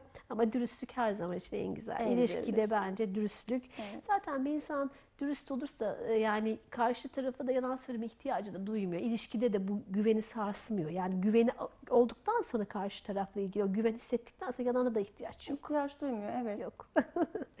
Şimdi evet bakalım bir diğer hatamız neymiş? Zaman ayırmamak. Yani, Yani ah, ah, işte en büyük herhalde sorunlardan bir tanesi. Duyuyorum ben şimdi. Evet evet izleyicileri duyuyorum. Birbirimize zaman ayırmıyoruz. Yani bazen iş hayatından dolayı olabilir. Sabah çıkıyor, akşam geliyor iki tarafta. Yorgun oluyor. Birbirine zaman ayıramıyor. Yani diyor ki ben zaten sabahtan akşama kadar çalıştım. Zaten bin tane insanla konuştum. Şu an ben biraz evime geldim. Uzanıp televizyon izlemek istiyorum diyor. Aynen. Ama şöyle bizim rutinin içinde mutlu olmaya ihtiyacımız var aslında. Evlilik böyle bir şey. O rutinin içinde mutlu olabileceğimiz anlar yakalamalıyız. Kaliteli zaman geçirmeliyiz. Ha bu demek değildir ki 5-6 saat. Eve geldiğinde zaman, ya geldiğin zaman bile 1 saat, yarım saat birlikte aynı şeyi yapabiliyorsak kaliteli zaman geçir, geçiriyoruz. Çok uzun demek. gerek yok esasında. Değil Çok tabii uzun. ki birbirimizi anlayacak kadar, dinleyecek kadar zaman yeterli aslında ama işte susa susa susa hani ben susuyorum, o susuyor, konuşmuyoruz. O kadar çok şey birikiyor ki artık. Konuşamıyoruz, anlaşamıyoruz ve sorunlarımız dev oluyor. Çözemeyecek duruma geliyoruz. Kesinlikle. Yani bu çok fazla ilişkilerde gerçekten hani şimdi çalışma hayatına bakıyorum. E, o kadar yoğun tempolarda çalışıyoruz ki hem kadın hem erkek Çok. açısından da öyle. Şimdi evlilikte insan eve gidince şöyle bir kafayı dinlemek istiyorsun. Bakmayın ben böyle çok konuşuyorum ama eve gidince hiç konuşmak istemiyorum. Eşinle de eşin de konuşmak isteyebilir. O da Evet. iletişim kurmak isteyebilir ama yarım saat yeterli mi? Yani yarım saat veya bir saat. Evet. Ya Etkili. gerekirse Mesela yemekte bile. olabilir mi? Ne yapabilir Olabilir mesela? yani diyorum ya aynı anda aynı şeyi yapıyor olabilmek önemli. Sussak bile olur bu. Hmm. Yarım saat boyunca karşılıklı susalım gerekirse. Bakışalım mı? Evet gerekirse bakışalım. Yani Ya da ama- sarılalım. Ha, önemli olan aynı şeyi yapıyor olmak. Beraberken aynı şeye odaklanıyor olabilmek. Hmm. Ya da film zaman. izleyelim mi? Evet ama nasıl film? Yani sizin sevdiğiniz bir film değil. Sadece onun sevdiği bir film değil. İkinizin de sevdiği ve ikinizin de odaklanabileceği, aynı anda aynı şeyi düşünebileceği bir film olmalı. Hmm. Aynen, anladım. Kaliteli zaman bu demek. Yoksa birlikte çok şey yapıyoruz. İşe geldiğimiz zaman beraber televizyon izliyoruz, meyve yiyoruz vesaire ama o başka bir şey düşünüyor. Siz başka bir şey düşünüyorsunuz, Hmm. konuşmuyorsunuz. Bu kaliteli zaman değildir. Anladım. Aynı noktada, e, aynı hedefte buluşmak gerekiyor herhalde evet, değil mi? kesinlikle en önemlisi o zaten. Çok güzel. Buna da dikkat etmek lazım gerçekten eşlerin. Evet. Ya bu bir alışkanlık haline getirilebilir belki bir süreç. Getirilebilir evet ama tabii önemli olan bunun farkına varmak. Farkına Çünkü biz varmak. beraber zaman geçirdiğimiz zaman bunu ya ben zaten hep seninleyim. Hep Dip dibeyiz zaten. Tabii, Sen tabii. daha ne istiyorsun diyoruz ama biz aslında kaliteli zaman geçirmek Mesela şimdi e, biraz önce hani iş ve iş ve- verenlerle ilgili konuştuk. Aynı iş yerinde çalışan mesela karı kocalar da var. Hani onlar esasında 24 saat belki beraberler. Evet. E, bu bile doğru zaman değil esasında değil mi? Değil tabii ki. Ya orada bir iş için berabersin. O farklı bir iş yapıyor. Sen farklı bir iş yapıyorsun. Farklı insanlarla iletişime geçiyoruz ama akşam olduğu zaman birbirimizden aslında hiç haberimiz yok. Ne yaptık, ne ettik, ne problem oldu. Hani eve geldiğimiz zaman kendimize dair bir şeyler konuşmak istiyoruz. İşe dair bir şeyler değil. Anladım. Bireysel zamana ya da eşimizle geçireceğimiz zamana ihtiyacımız var bizim. Hı hı. Yani kaliteli zamanı sadece birbirimize odaklanarak Evet. yapmamız gerekiyor. Aynı, Aynı işte şey bile öyle. çalışsanız bu bunu gerektirmiyor. Yok. Ya da çocuklar ol- olduğu zaman da belki hep birlikte aile olarak mı zaman geçirmek Zaten lazım? o ayrı bir faktör. Eğer çocuklar da işin içine giriyorsa birlikte çocukların da sağlığı için birlikte vakit geçirilmeli. Çocukların da sevebileceği, sizin de aynı şekilde kaliteli zaman geçirebileceği bir ortamın yaratılması şart çocukların gelişimi için. Çünkü çocuklar zaten anne baba faktörünü hasret. Aynen. Yani zaten sabahtan akşama kadar kreşte bekliyor çocuk. Akşam olduğu zaman annesini babasını görmek Kesinlikle. istiyor. Onun sevgisine ihtiyacı var. Zaten ailelerde artık şöyle bir aile kavramı oluştu. Annenin ev- elinde bir ne bileyim telefon, babada bir bilgisayar, çocuğun elinde bir e, Tablet. tablet. Yani ilişkilerimiz böyle. Hatta yazışmalar bile telefondan birbirine yazışmalar, odadan odaya yazışmalar bile artık Artık iletişimde bu evreye şekilde. geldik. Yani o tablet artık 2 yaşa 1 yaşa kadar düştü. Çocuk sinir krizlerine giriyor tableti vermediği zaman. Ama aile ne yapıyor? Ben zaten akşama kadar yoruluyorum. Ver tableti sussun oynasın işte. Evet, çok Bu hatalı. çocuğu ne kadar kötü etkiliyor. Halbuki çocuğun oyun oynamaya ihtiyacı var, ailesiyle zaman geçirmeye ihtiyacı var. Tabii öğrenmeye ihtiyacı var Evet. her şeyden önce değil Aileden mi? öğrenmeye ihtiyacı var. Bunu bir cihazdan, bir telefondan, bir televizyondan değil, sağlıklı yolla öğrenmeye ihtiyacı var aslında. Orada ne tür bilgiler var onu bile bilmiyoruz, Bilmiyoruz. ki. Her tür bilgi var orada. Ama doğru bilgileri vermek lazım çocuğa. Evet, o da çünkü o aile. şekilde daha çok şiddeti öğrenmiş oluyor çocuk. Oyunlar olsun vesaire olsun her şey aslında bize şiddeti öğretiyor. Aynen. Evet bir başka bir iletişim hatasına girelim ve biraz sonra reklama gideceğiz çünkü. Evet bakalım başka ne hatalar yapıyoruz. Şiddet. Şiddet eyvah eyvah. Yani hepimizin maruz kaldığı bir şey bu. İlle fiziksel şiddet değil, Tabii. duygusal şiddette. Sosyal. Evet, hakaretler, küfürler, işte kırıcı eleştiriler, şakalar yapmak da aslında birer şiddettir. Ve bunlar insanın içinden daha çok daha zor çıkıyor aslında. Fiziksel şiddet tabii ki o an yaptı unuttu değil, acısı geçti. Tabii ki buna da kesinlikle maruz bırakmamalı kişi kendini ama duygusal şiddet de bizi fiziksel şiddet kadar yaralıyor aslında. İçimizden çıkmıyor onun söylediği sözler. Ve biz onu zamanla tolere ediyoruz. İşte bir söyledi, iki söyledi. Şimdi kızgın da ondan söyledi. İşte ekonomik problemlerimiz var, ona kafayı taktı, ondan söyledi. E bir tolere et, iki et, üç et. Kişi bunu alışkanlık haline getiriyor. Ve tabii ki doğal olarak zaten iletişim kuramaz hale geliyorlar. Devamlı bir kişi baskın oluyor. Anladım. Yani gerçekten zaten e, kadına şiddet hep e, hep karşıyız ve bununla ilgili birçok programlar da yapıyoruz. İşin, işin çoğu hukuki boyutunu da çok konuştuk, psikolojik boyutunu da çok konuştuk. Ama tek tabii hep şiddet deyince hep dediğimiz gibi fizik şi- şiddet akla geliyor ama sosyal şiddet kadının gerçekten içinde bir yara gibi kalıyor Kanayan değil mi? yara. Kanayan Evet, bir yara. Bütün herkes maruz kalıyordur eminim.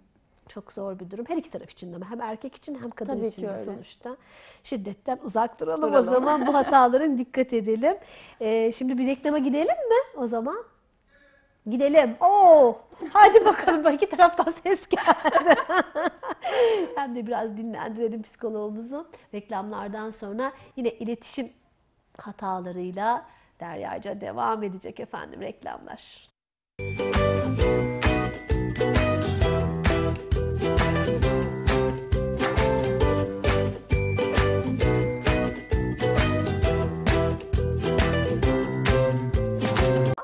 Derya Cağı programımız devam ediyor. Yavaş yavaş sonlara geliyoruz. Efendim bugün iletişim kazalarını konuşuyoruz.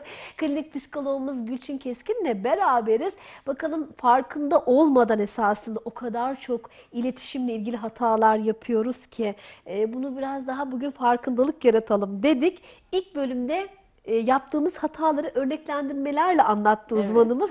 Bakalım devam edeceğiz. Neler varmış başka? Evet. Şöyle saygının azalmasıyla başlayan e, iletişim hataları oluyor. Ne oluyor? Yani karşıdaki kişi sürekli olarak baskın olursa Evet. e, bu defa karşıdaki kişi diyor ki bu defa yine beni anlamayacak nasılsa. İşte benim bir şey söylememe gerek yok diyor. Bu defa hani ne oluyor? Karşıdaki kişi bütün duygularını bastırıyor. Bastırıyor. E, karşıdaki kişi de hatasını farkına varamıyor. Hiçbir değişime gidemiyorlar. Yani susuyor kadın. Ya da erkek. Evet ya da kadın ya da erkek sürekli susuyor. ve bu defa problem büyüyor. Sürekli olarak büyüyor ve çözülmeyecek bir duruma geliyor. Sonrasında zaten boşanmalar meydana geliyor. Yani konuşmamak da esasında ilişkide iyi bir şey değil değil mi? Değil tabii ki. Öfkelensek bile bunu söylemeliyiz ama doğru şekilde ifade etmeliyiz. Çünkü öfke de sağlıklı bir duygu. İfade etmediğimiz zaman bu defa içimizde kalıyor o duygular ve yaşlanmıyor da. Yaşlanmıyor. Bundan 40 yıl 50 yıl sonra diyor ki işte zamanında sen annen bana şunları şunları söylerken sen sustun diyor. Onu içine atmış kadın. Orada bir şey söyleyememiş ama bunu içine atmış. Doğru. 40 yıl 50 yıl sonra bunlar ortaya çıkıyor. Artık zaten bir çözümü olmuyor. Sadece çatışmalara neden oluyor. Aslında tartışmak, e, hani kavga demeyelim bunun ad- adına da, tartışmak ilişkiyi ömrünü uzatıyor mu? Uzatıyor. Değil mi? Yapıcı tartışmalar yapmamız Evet, yıkıcı lazım. değil tabii ki. Çözüm odaklı. Hataya hani hatayı aramaya odaklı değil de daima çözüm odaklı olması Hmm. gerekiyor. Ne oluyor? Biz tartışırken diyoruz ki, "E sen de şunu yaptın. E sen de zamanında şunu yapmıştın." Hiç çözüme yönelik hiçbir şey yok Hmm. Çözüm ortada. Sadece konuşuyoruz ama Evet. bence o bile deşarj diye düşünüyorum ben. Bilmiyorum yani hani hiç susmaktansa, Susmaktansa tabii ki. tartışmak. Tabii ben ki. mesela bazen öyle diyorlar bazı ilişkilerde. Ya bizim ilişkimiz çok güzel gidiyor. Hiç tartışmıyoruz. bence bu ilişkide bir hata var. Mümkün değil.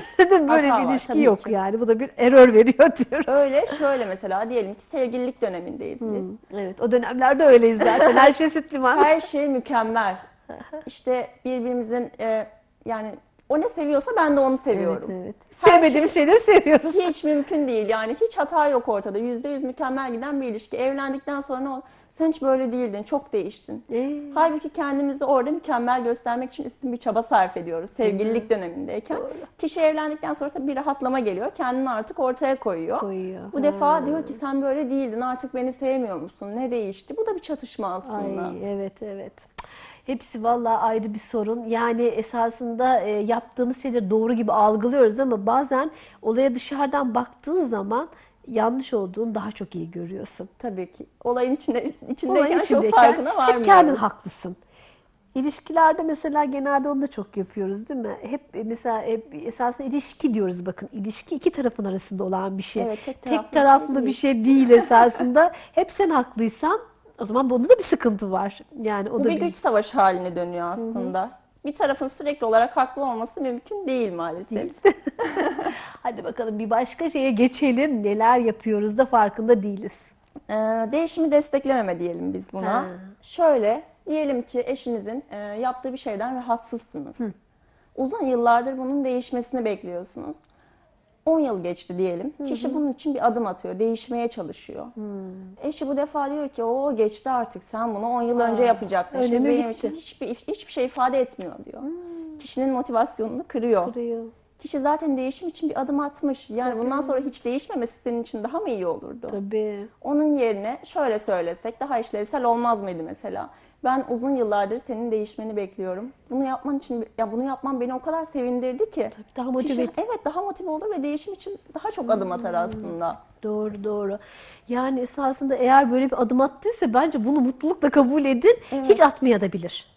Hiç yapmaya da bilir istese değil mi? Bunu Tabii ki yani 10 yıl bile olsa siz bir süreçteyseniz, bir evlilik sürecindeyseniz ve ölene kadar bunu devam ettirmeyi düşünüyorsanız Tabii. kişinin attığı en küçük olumlu adım bile desteklenilmeli. Şimdi bir de değişimde şöyle de şeyler oluyor. Mesela sana hiç seni seviyorum demeyen bir e, eşin karşı tarafında bir anda seni seviyorum ellerine çiçeklerle gelmesi ve hediyelerle gelmesi kadının ilk kafasında olan şey beni aldatıyor mu? Evet.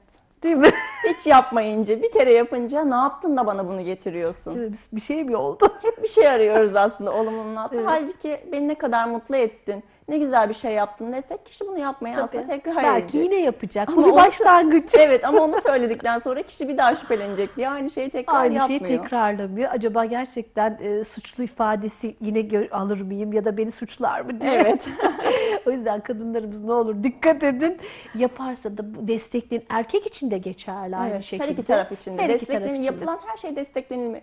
Küçük bir teşekkür ya da Tabii, evet hiç teşekkür etmiyoruz mesela. En büyük Evet, iletişim hatalarından ay. biri bu. Çok. İşte kadın diyelim ki ev hanımı, eşinin ütülerini yapıyor, işte yemeğini Hmm. pişiriyor, çamaşırlarını yıkıyor. Eşi geldiği zaman benim kıyafetim nerede getir. Getir. Ya ba- bunları bütün gün benim için yaptığın için teşekkür ederim dese bile ne Aynen. kadar büyük bir ödül. İşte kadınlar da hep de şunu söyler. Saçımı senin için süpürge yaptım der. Ama Ama yaralamadım. esasında kadın diyor ki teşekkür et. Evet. Esasında memnuniyet belirtisi istiyor. Yani kadın eğer bunu söylüyorsa bir şey istiyor. Bir söz, sözsel bir teşekkür istiyor değil mi? Övgü Evet, istiyor. İstiyor ve buna ihtiyacı var aslında. Evet. Çünkü bütün gün evde zaten sürekli olarak aynı şeylerle meşgul ki ev hanımlığı gerçekten zor bir meslek Çok bence. zor. Ben size bir şey söyleyeyim. Hani bizler çalışan kadınlarız ama ben ev kadınlarını takdir ediyorum. Yani herkesin yapacağı bir iş değil. Ee, bütün ev kadınlarımıza Allah gücünü kuvvetini arttırsın. Yani o evde o işlerle uğraşmak ayrı bir meziyet bence. Sabır bence. Sabır. yani sürekli olarak döndürüp döndürüp aynı şeyleri mecburiyetten yapıyor olmak bir de bir zevk değil. Tabii, Ev işi yapmak maalesef Bence ki. erkekler de vallahi kadınların da kıymetini bilsin. Kadınlar da erkeklerin kıymetini bilsin. Evet yani tabii ki yardım eden eşler de vardır. Tabii, çok. Bu zaten olması gereken bir şey. Hani ev işleri kadınındır değil. Tabii değil. Bir evlilik varsa, ortada bir ihtiyaç varsa ve yapılması gerekiyorsa her iki taraf da bunu yapmalı zaten. Aynen, aynen. Hani bize bu atfedilmiş bir şey aslında ama kadındır, ev hanımıdır, işte işini yapacak, yemeğini yapacak ama halbuki böyle değil. Tabii canım. Erkekler de aynı şeye destek vermeli. Kesinlikle yani erkeğin de yaptığı birçok şeyin farkında değiliz. Evin alışverişini yapıyordur. Yine çocukla ilgili birçok gereksinmeyi karşılıyordur. Bunun için bile esasında teşekkür etmek gerekir. Evet, o sorumlulukları paylaşabilmek önemli. Yani sen e, elektrik faturasını ödüyorsan, işte ben de bugün yemeği yapayım. Yani biz kendimize ait Tabii. sorumlulukları aslında bilmeliyiz. Bilmeliyiz. Aynen. Bu da iletişim sorunlarını bir nevi çözer aslında. Doğru. Sen niye bugün elektrik faturasını ödemedin? Sen niye şunu şunu yapmadın demektense herkes kendine ait olan Hmm. sorumluluğu bilse bir nevi o sorun çözülmüş olur Doğru, aslında. doğru. Çok güzel bunlar esasında yapmamız gereken şeyler Evet. ama farkında olmamız gereken şeyler. Evet diğer hataya geçelim mi Geçelim. bakalım? Biz de merak ediyoruz neler yapıyoruz da farkında değiliz diye. Şöyle cevap vermek için dinlemek. Bu çok sık yaptığımız bir şey. Karşımızdaki kişi e, diyelim ki iş yerinde bir problemle karşılaştı. Hı hı. Eve geldiği zaman buna eşini anlatıyor. Çok üzgün, kırılmış. Eşi daha söz bitmeden, kadın kendini tam olarak aktaramadan diyor ki ben sana zamanında şöyle şöyle yapmasaydın demiştim. Bak beni dinleseydin bunlar senin başına gelmeyecekti diyor. Bitti. Yani kadın o an zaten kendini kötü hissediyor. hissediyor. Ya da erkek diyelim. Şimdi Tabii. sürekli Tabii, olarak kadın kadınları- erkek konuşmayalım. Aynen aynen. Zaten kendini kötü hissediyor, rahatlamak ve desteklenilmek Tabii. istiyor esasen. Ama karşısındaki kişi bak şunu şunu yapmasaydın da bunlar başına gelmeyecekti des- dediği zaman karşıdaki kişi Daha kötü inciniyor, daha kötü hissediyor. Hani keşke yapmasaydım demek de keşke de çok kötü bir şey aslında. Aynen. Kendini çok kötü hissettiriyor bu kadına Ne, ya da yapalım, ne yapsın peki böyle bir durumda? Tamamen onu dinlemesini ve duygusunu anlaması gerekir. Yani Cevap vermesi de gerek yok yani. Yok. Onaylaması mı gerekiyor? Tabii ki desteklemesi gerekiyor. Anlıyorum. Çok üzgünsün. Bu seni çok yıpratmış. Bir dahaki sefere daha dikkatli olursun gibi. Hani Tabii sana nasıl yardımcı olabilirim bu Evet konuda? yani hani benim bazen yapabileceğim çözüm bile üretmeyebilir. Tabii. Yani sadece dinlemesi bile kafidir. Çünkü bazen sadece gerçekten karşımızda bizi birilerinin dinlemesini isteriz. Aynen. Bazen psikologlara gelinmesinin tek sebebi de odur. Hiç kimseye anlatamadığı bir şeyi geliyordur. Psikolog da sadece anlatıyordur. Çözüm bile istemiyordur belki. Doğru. Bazen sadece içimizi boşaltmak isteriz. Kendi sesimizi duymak istiyoruz esasında. Evet. Değil mi? Ee, gerçekten öyle. Bir de şunu çok yapıyoruz. Ben de çok bilmiyorum e, eşler arasında çok görüyorum. Yani karşı tarafa bir şeyi anlattığımız zaman eşlere özellikle sorumluluk hissediyorlar. Ki bundan dolayı da zaten cevap veriyorlar. Eşinin zarar görmesinden dolayı esasında kendi de hissediyor. O, o duyguyu rahatsızlanıyor o duygudan. Evet. Ve ona bir çözüm önerisi getirmek zorunda hissediyor. Hayır değil esasında. Kadın bunu istemez ya da erkek bunu istemez. Yani o zaten çözüm kafasındadır. Evet zaten as- esasen biliyordur onu. Esasen onun sonucunu da çözümünü de biliyor ama sadece dinlem, dinlenmek istiyor. Hata yapa yapa öğreniyoruz sonuçta yani hepimiz yetişkin insanlarız. Ya tabii ki bazen çözüm de istiyoruz. Bazen içinden çıkılamaz bir hale de geliyoruz ama e, dinlenilmek istediğimiz zaman karşımızdaki kişi şöyle şöyle yapsaydım bak başına gelmezdi dediği zaman kendimizi çok daha kötü, hissediyoruz. hissediyoruz değil mi? Bazen sadece dinlemek, bazen de çözüm istediği zaman da çözüm önerisi getirmek lazım. Evet. İstemeden getirmeyin. Zaten her zaman istediğimiz şey çözüme ulaşmak ama tabii ki istediği, zaman. İstediği Bazen zaman. sadece dinlenilmek istiyoruz. Bazen Gerçekten buna ihtiyacımız oluyor. O anları çok iyi kavramamız lazım. Evet. Değil mi? Kişinin ne istediğini iyi anlamamız lazım. Evet bakalım diğer bir hatamız neymiş? Mantık arama. Mantık arama. Ah merak ettim. Bu nasıl bir şeymiş acaba? Kadın bir şey istiyor ya da erkek bir şey istiyor. Tamam. Bir yere gitmek istiyor ya da bir şey almak istiyor ya da başka Hmm. bir ihtiyacı var. Karşısındaki kişi diyor ki Allah aşkına bunda bana mantıklı bir şey söyle veya göster. Ay. Halbuki her zaman mantıklı bir şey olmak zorunda Tabii. değil. Bazen sadece bir şey gerçekten istiyor olabiliriz. Olabiliriz tabii. Ve kişinin bunu duymaya değil, karşısındaki kişiden evet benim aklıma yatmadı ama çok istiyorsan bunu senin için yapabilirim demesi gerekir. Yani Hmm, doğru. o eş faktörüyle eğer yanındaysa ve bir hayatı onunla paylaşıyorsa mantıklı ya da mantıksız. Her Tabii. zaman mantık aramak gerekmiyor her şeyde. Mantıklı veya mantıksız. O Aynen. istiyorsa bunu onun için yapabilmeli. O anlık bir şey yani. O anda onu istiyordur ama bunun sebebi yoktur değil mi? Yoktur her zaman her şeyin sebebi, olmuyor yok. zaten hayatımızda. Çok da sorgulamamak lazım. Tabii ki. Canın o anda istiyordur. Yap, ya da yapılmamasını istediğin bir şey yapmamak gibi de aynı şekilde. Öyle aynen. Mantık aramayın. Bazen duygularınızla hareket edin değil evet. mi? Ya bazen o duyguyu da göstermeye ihtiyacımız Tabii, var çünkü. tabii. Özellikle biz kadınlar mesela e, hiç olmadık zamanlarda olmadık istekler de yapabiliriz. o zaman hiç sorgulamayın. Öyle dönemlerimiz var bizim mesela. o dönemlerde hiç üstünüze gelmeyin. Sadece yapın. Değil mi Gökhan? Gökhan beni çok güzel dinliyorsun bugün. Gökhan hap bilgiler veriyoruz baksana. evet. Devam edelim bakalım başka hatalara.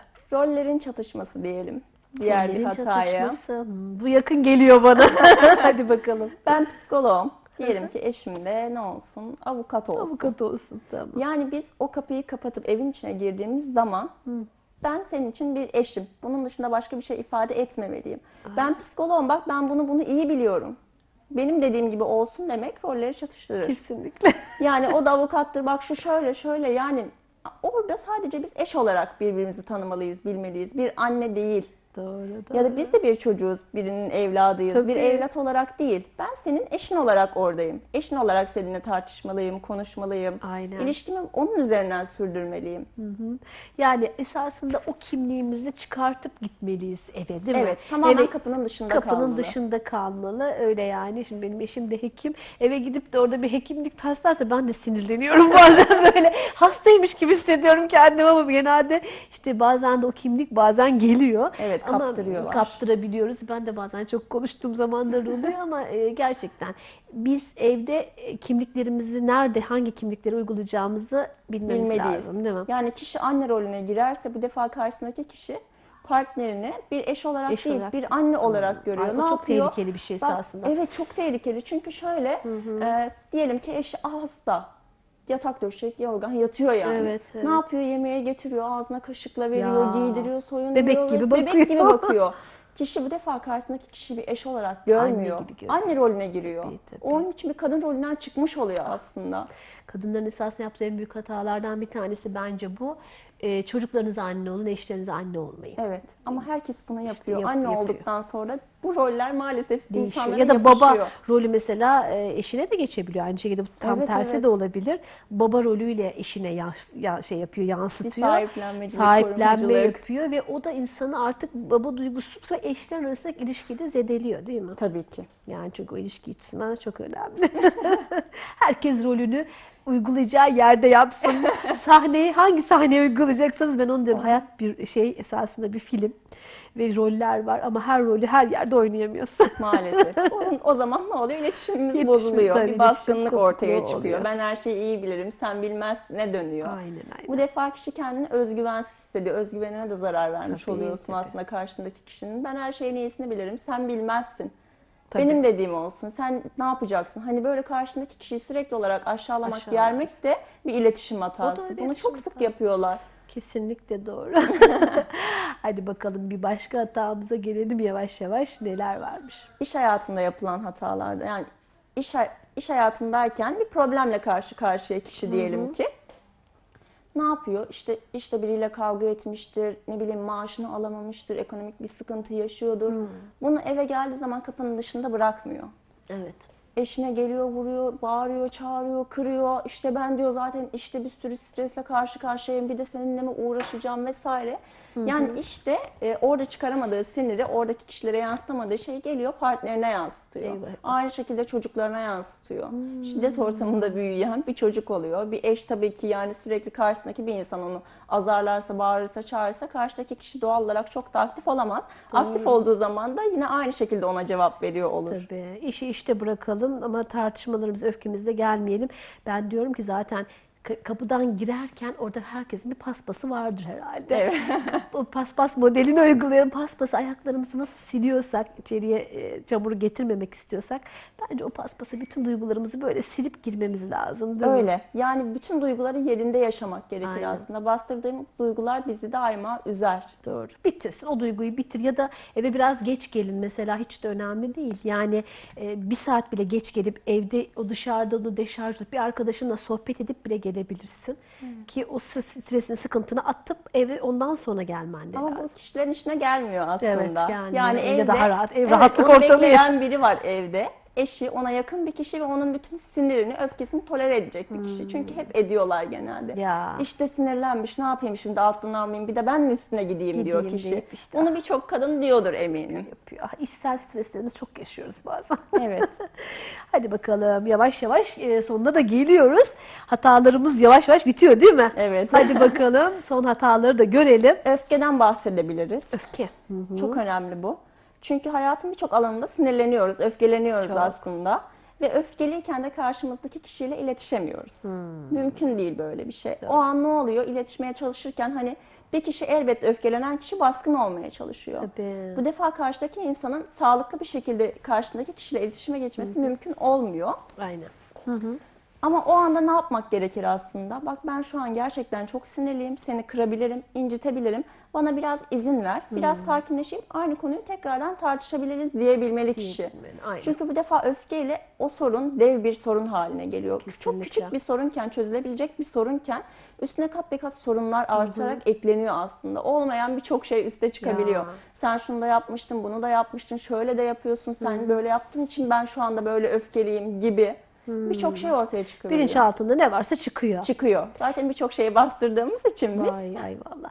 Esasında dediğimiz gibi öfkeli andayken esasında konuşmamak lazım.